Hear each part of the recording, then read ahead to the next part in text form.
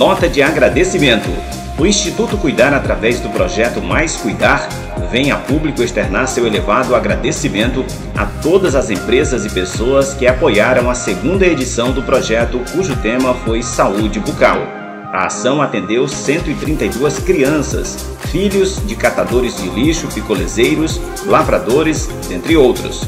Empresas patrocinadoras Cota 1 e 2, Instituto Nacional de Excelência Humana, Rádio Alternativa, Rádio Panteon, Narcle Joias, KVPEL, Gráfica JM, Farmácia Agroquintas e Secretaria Municipal de Educação, Ciência e Tecnologia. Cuidar do outro é mais que uma atitude, é um ato de amor.